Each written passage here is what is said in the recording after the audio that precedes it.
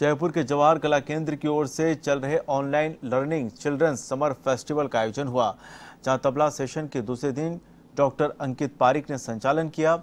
Online session में प्रतिभागियों को कायदा, ताल तीन ताल तिहाई और टुकड़ा आदि के बारे में जानकारी दी गई।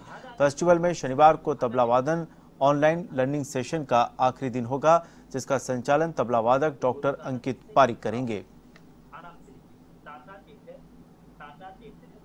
धारा ताता तीते धादा तीते धादा अब मैं आपको यह बताता हूँ। ताल लगा देखिए, चौवन में